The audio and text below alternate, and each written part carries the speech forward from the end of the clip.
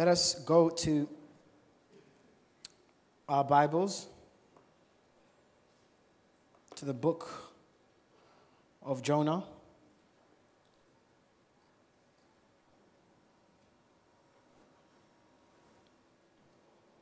Chapter 3. Book of Jonah, chapter 3. And verses 5. We're going to read to verses 10. Hopefully, most of you know the book of Jonah. It's a book that's widely taught in Sunday school, so everyone should start off their early ages knowing the book of Jonah, the guy who was swallowed by a fish, um, stayed there for three days and spat out. Um, scholars say actually Jonah died, and he was actually a type of Christ. And God raised him from the dead on the third day and spat him out of the fish. Because the poem that Jonah writes while he is in the fish indicates actually that he, he went to the world of the dead. So the people of Nineveh believed God. This is after Jonah has preached to them. And he goes to them to preach a message of repentance because he says God is going to judge you, He's going to destroy you. Bible says the people of Nineveh believed God, proclaimed a fast, and put on sackcloth from the greatest to the least of them. Let's keep going. I'm going to read until verse 10. Then word came to the king of Nineveh, and he arose from his throne and laid aside his robe, covered himself with sackcloth, and sat in ashes. And he caused it to be proclaimed and published throughout Nineveh by the decree of the king and his nobles, saying, Let neither man, nor beast, herd, no flock taste anything. Do not let them eat or drink water. Tell your neighbor your cat is going on a fast. But let man and beast be covered with sackcloth and cry mightily to God. Yes, let everyone turn from his evil way and from the violence that is in his hands. Who can tell if God will turn and relent and turn away his fierce anger so that we may not perish? Then God saw their works. The Bible says God saw their what? Their works, that they turned from their evil way. And God relented from the disaster that he said he would bring upon them. And he did not do it. Somebody said he did not do it. Let's read one more verse before I go into my preaching. Matthew chapter 6 and verse 16. Matthew chapter 6 and verses 16. And this is our Savior, our Lord speaking. It says, Moreover, when you fast, look at your neighbor and say, When you fast. Look at your other neighbor and say, said, When, not if. Yeah? When you fast, do not be like the hypocrites with a sad countenance, for they disfigure their faces that they may appear to men to be fasting. Assuredly, I say to you, they have their reward. Let's keep going. We're going to read them to verse 18. But you, when you fast, anoint your head and wash your face, so that you do not appear to men to be fasting, but to your Father who is in, in the secret place. And your Father who sees in secret will reward you openly. Somebody say amen. I believe that we as a nation, as a people, in the nations of the world, have reached a critical place.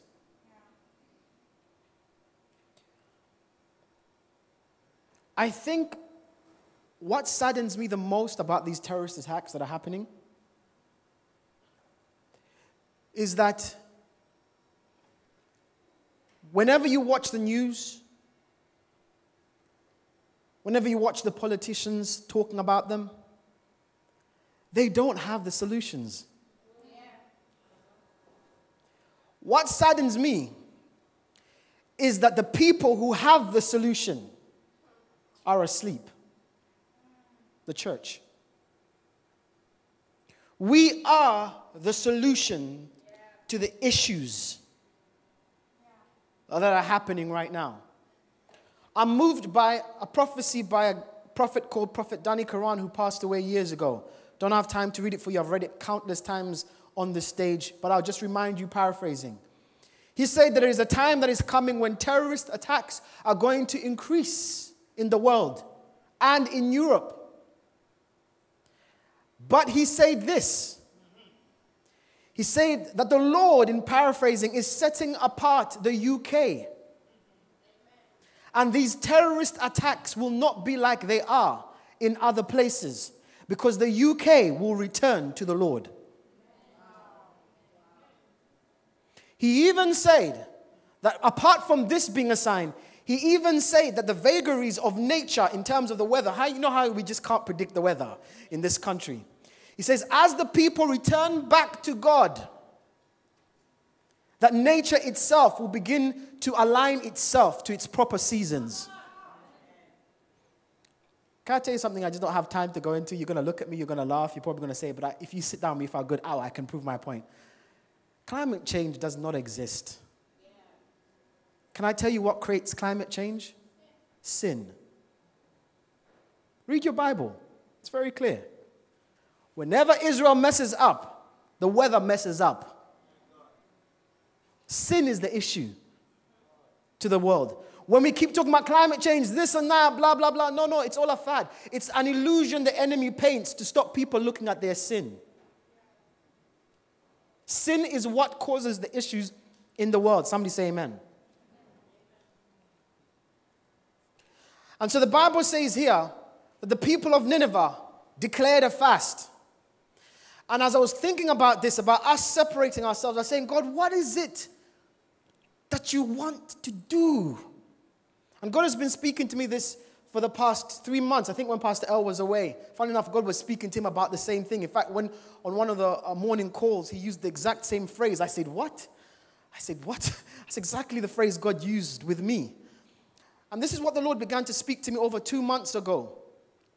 And I was saying to God, what is it you want us in this fast exactly? What is it about? Is it about financial breakthrough for LCF?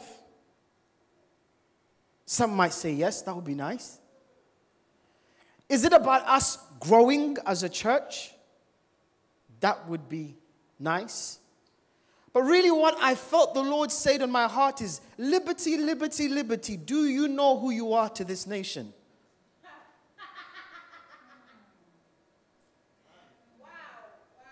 Do you know who you are to this nation?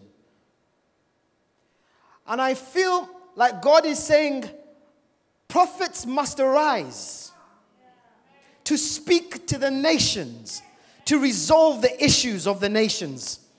And God is looking for churches who will stand out from the crowd and stand and say, We have a solution to the issues of the nation. Is anybody hearing me? If we do not arise and take our place, this nation will not know God. And the calamities that are buffeting it day and night will continue because we have not taken our place. So we must declare a fast. We must. Because if we do not become who we need to be, then the King of glory cannot come in. If John does not consecrate himself, then the stage is not set for the King of glory to come in. God wants to touch this nation. He wants to touch this nation. And He's looking for believers who will set themselves apart that He might use them. Somebody say, Amen. Today I posted on the, the WhatsApp group and I say, yo, um, the youth leadership WhatsApp group, and I say, listen, guys, I know you guys having your service today, but could you please cancel your service so we could all be downstairs, please? And I said, the Lord wants us to fast. This is for every single person in this room hearing me we are consecrating ourselves. And in three days, the Lord shall come I'm not saying it literally, I'm using a phrase from Scripture. What Pastor Lincoln felt specifically in his heart was a 21 day fast to kickstart this fasted life. To kickstart this fasted life. And so I just want to lay the ground scripturally for what fasting is. Possibly finish in a good time just to get one or two questions. And I want us to kickstart our fast in the right way by prayer. Somebody say amen. I want to look at first what fasting achieved in Scripture. I'm going to do this very quickly. Let's just read very quickly Deuteronomy chapter 9 and verses 18.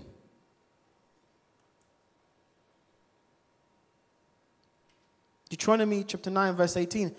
And I fell down before the Lord, this is Moses speaking, at the first of 40 days and 40 nights, neither ate bread nor drink nor drank water because of all your sin which you committed in doing wickedly in the sight of the Lord to provoke him to anger. Let's just read verse 19. Let me see what's there. For I was afraid of the anger and, and, and the hot displeasure with which the Lord was angry with you to destroy you. But the Lord listened to me at that time also. So this is Moses speaking. This is the birth of Israel. The birth of Israel was birthed through a fast, a 40 day fast. Hmm? There are three people in the Bible who fasted 40 days. Can you name them who they are? Bible scholars. Ready, go. Jesus, Moses. Guess who the other one is? Not very well known. no, 21. Guess. Who, who, who, usually, who, who usually rolls in that crowd? Moses, Jesus, and Elijah. Three people in scripture who fasted 40 day fast. Moses to establish the Old Testament, Elijah to establish the era of the prophets, and Jesus to establish the New Testament. Each dispensation of God has always been started with a 40 day fast. Hmm? So, fasting starts things. Do you have some stuff in your life you want to start? If you want to do it in a way that it will last, get on a fast. Hmm? We just read from Jonah chapter 3 and verses 5 that fasting redeems things. A whole nation was redeemed because, listen, of a collective fast. This is why Pastor Lincoln has decreed this to the church at wide, because it must be a collective pursuit. We are asking for you to come in agreement with us, and we are going to do this as one. Somebody say, Amen. amen. Tap your neighbor and say, You are fasting. If you're a visitor, just join in. in fact, it's one of the greatest ways to express a collectiveness before God is when we all say, We shall fast. So fasting redeems things. Learn that from Jonah. The Bible says that before Nehemiah began to build the walls, he fasted in Nehemiah chapter 1 and verses 4. Fasting builds things. How many of you want to build something? How many of you are trying to put up a structure? Well, the answer to scripture is fast concerning it. In the book of Acts, we're told about a man named Cornelius. Book of Acts, chapter 10. The Bible says that he was in fasting when an angel appeared to him and spoke to him about how he could receive salvation for him and his household. Fasting reveals things. Is anybody hearing me? So, fasting starts things, fasting redeems things, fasting builds things, fasting reveals things. One of the biggest reasons why we as Christians have no clue what's happening is because we do not live fasted lives.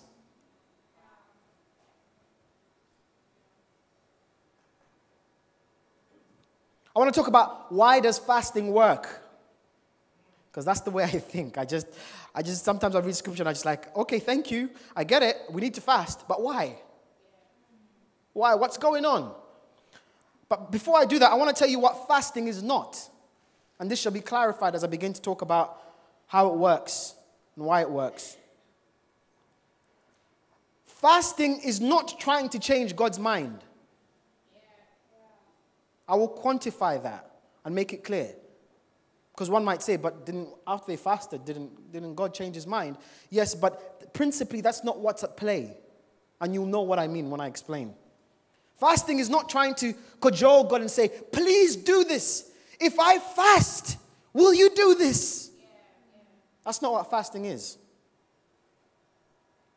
Fasting is not paying with pain and sacrifice that something may happen. It is not that. And the reason I'm saying that is because many religious people have that viewpoint of fasting.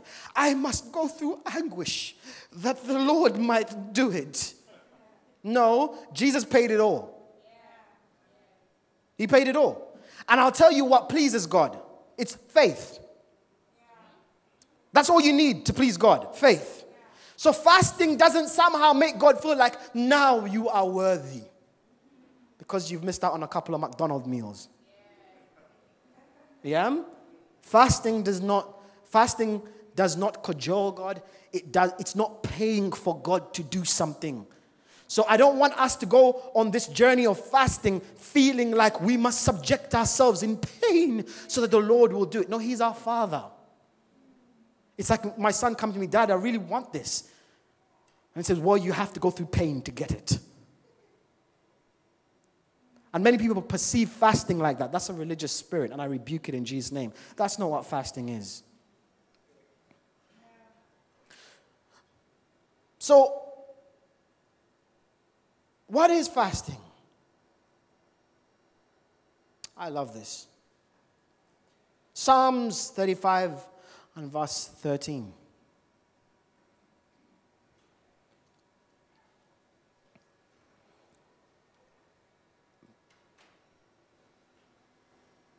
But as for me, when they were sick, my clothing was sackcloth.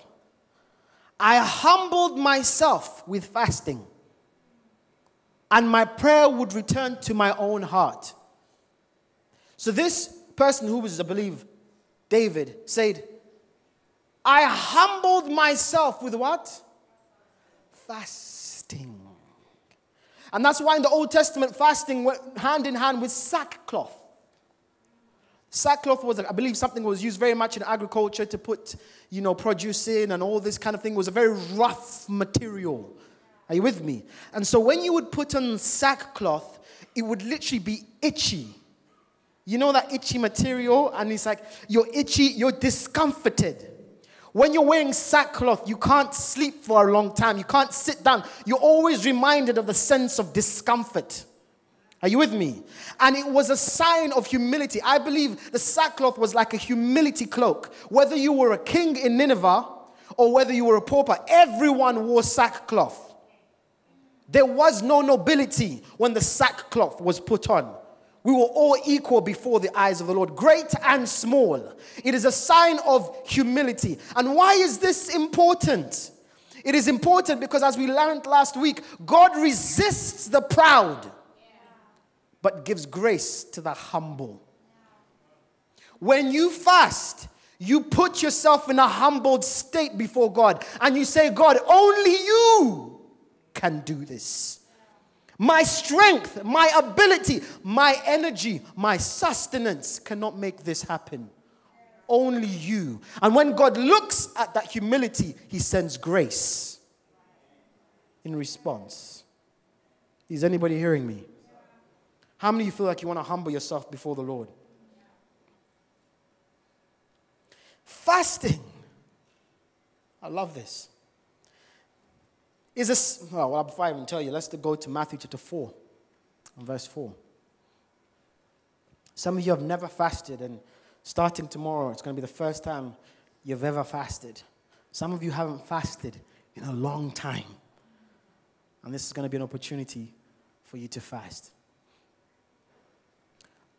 But he answered and said, Jesus speaking, It is written, Man shall not live by bread alone, but by every word that proceeds from the mouth of God. I'm reminded of when the disciples come to Jesus as he's sitting at the well and he's been food without he's been without food for ages and they, try, they attempt to give him food and he refuses it. And he says, "My food is to do the will of the one who sent me." Fasting is a sign of desperation. Have any of you ever gone through something where you could not eat? Hmm? Have, have you ever experienced, I experienced that once in my life, anguish where I could not eat, where you lose your appetite and food loses its flavor and you cannot eat. Because there is something happening that is too colossal for you to consider your stomach. Hmm?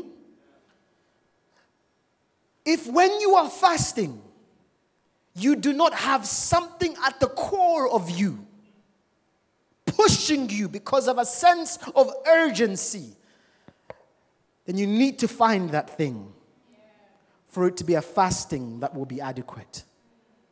You must find passion, the passion of desperation when fasting. To say, God, I need to hear you more than I need to eat.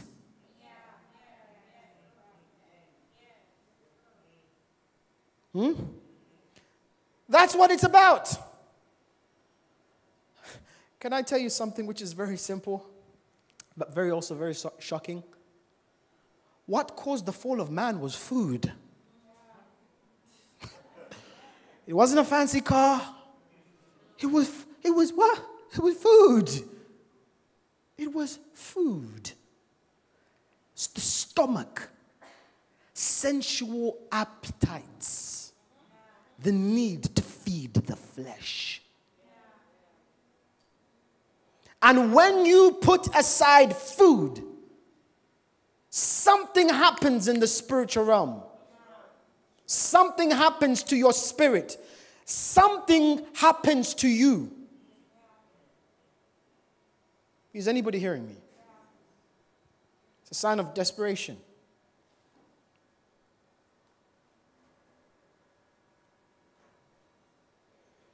The Bible says in Romans chapter 8 and verse 12 that we should put to death the dictats of the flesh by the power of the Spirit. Fasting is disciplining the flesh. Number four, fasting is a sign of faith. Hmm? It's a sign of faith. Let's read Matthew chapter 17, verse 19 to 21. A very interesting scripture here. And I'll explain why it's a sign of faith. Matthew chapter 17, verse 19 to 21. Then the disciples came to Jesus privately and said, Why could we not cast it out? So Jesus said to them, Because of your unbelief. For surely I say to you, if you have faith as a mustard seed, you will say to this mountain, Move from here to there, and it will move, and nothing will be impossible for you. Verse 21. However, somebody say small print. small print. Little foxes. This kind does not go out except by prayer and fasting. So, fasting is not faith, but it is a sign of your faith. Because from the time you get to the point of putting away food and disciplining this flesh and going through hunger pangs, you better believe something. Are you with me? You don't just subject yourself to such for no reason. And so, if you believe God, then fasting becomes a sign of your faith because faith without works is dead. So, do we believe God can touch this nation? Hmm? Do we believe, and this is the word, the key word God gave me over two months ago. Do we believe God can bring an awakening to the nation of Britain? That was the word, an awakening. Do you know what? It's sad. It's, this also saddens me that when this stuff happens, do you realize the nation does not turn to God? There's only one, I'll, I'll give this to America. When that stuff happens, the churches are full the next Sunday. At least they have somewhere in their backbone, somewhere, a reference to the fact that maybe we should go to church. Maybe the answer is, is that man who sits up there. But for our nation, you can tell how backslidden Britain is. Because when this stuff happens, there is no return to God. People cry, they hold vigils, but God is nowhere to be mentioned. The only solution to the issues of this nation is nowhere because this nation needs an awakening. Do you know that everybody in this room is a missionary to this nation? Look at neighbor and say, Do you know you're a missionary? You would be shocked how many people do not know the message of the gospel in this nation. You would actually be shocked. When you ask people, I remember I, I was, I was listening to one of um, um, youth leaders one time sitting down with a group of people, a group of young people, and asked them, and these were young people who came from Christian homes. So he asked them, What's your perception of Jesus? The person nearly hit the floor when they heard who the young people thought Jesus was. They had all of these theories, but none of them accurate.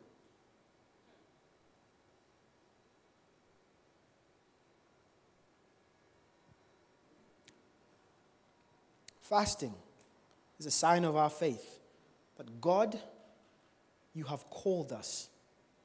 God, you can do this. And so, how does fasting work? And I'll finish with this and we'll grab a couple of questions. Listen to me.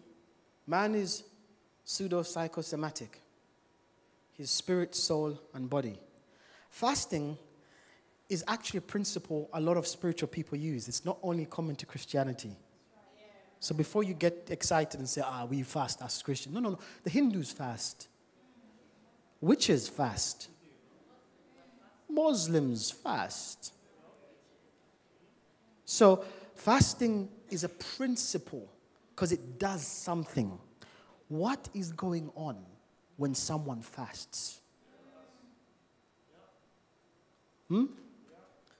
Number one, fasting weakens the body.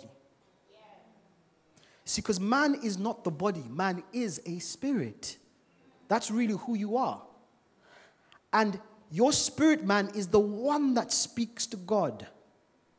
God doesn't speak to your body, He speaks to your spirit. Are you with me? The issue is, too many of us have a strong body, strong flesh.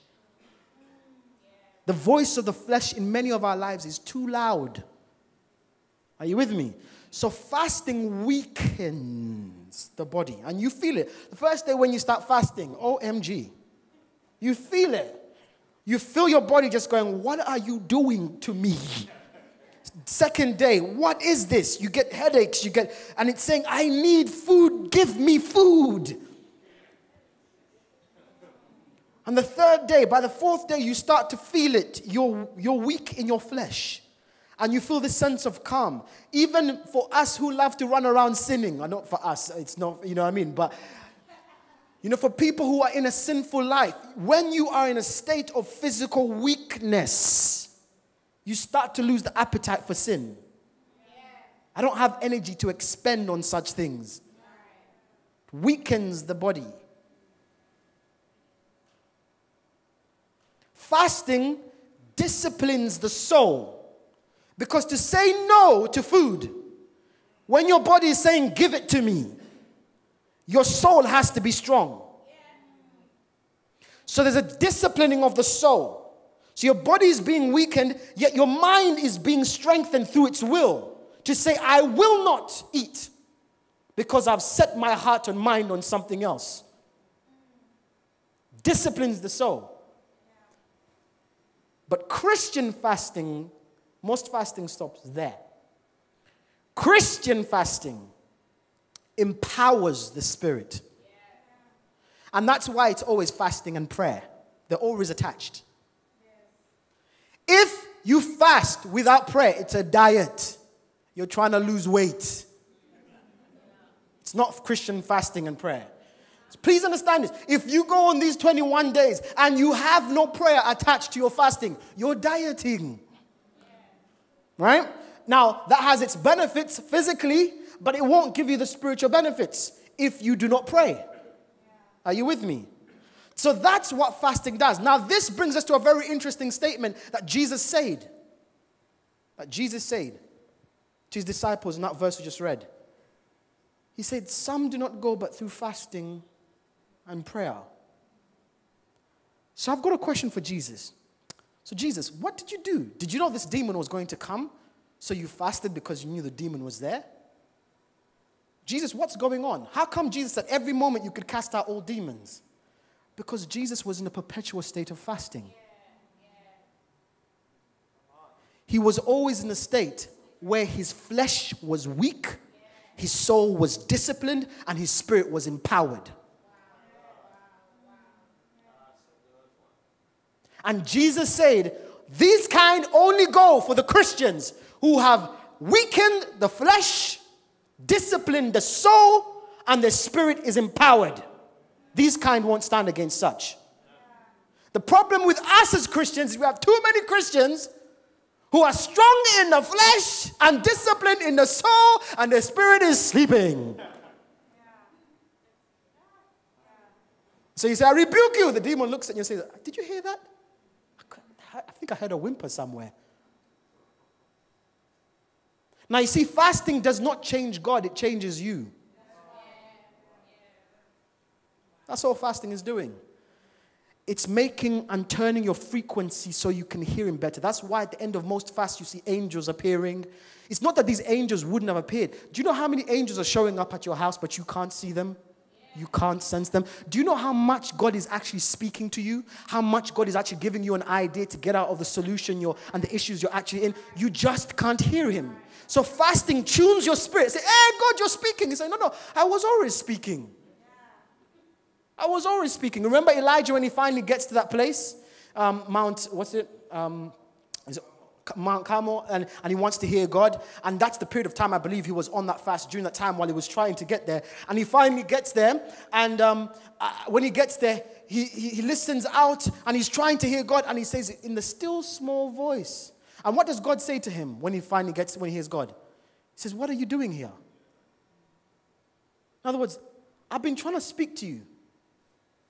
And he finally gets through to him, He says, What are you doing here? God is always speaking. He's always speaking. But our spirits are always at such a weak state to hear. So God is speaking concerning. Can you hear God well enough to know not to get on a train that's going to have a terror attack? I'm not trying to scare you. I'm trying to say this is how God wants to speak to us. I remember John Paul Jackson said that um, he had a vision and he saw a certain NASA spaceship that was going to explode on its, um, what do you call it? Takeoff. So he called NASA. John Paul Jackson called NASA and said, Do not let that spaceship take off. It is going to explode. Of course, they said, Who is this weird dude? Needless to say, guess what happened? Exploded. There are testimonies of people on, on, on 9 11. People said, I woke up and something said, Do not go to work. Do not go to work. Because their spirits were acute enough to hear. Hmm? Is your spirit empowered enough? to hear. If it is not, fasting will do it. Amen. I think I'll stop there. I just want to give an opportunity for maybe one or two questions that somebody might want to ask. And then we can orientate ourselves and, and just do some prayer as we end the service. Any quick questions that somebody might want to ask in regards to fasting or prayer? Yes, just shout it out nice and loud, Loveline.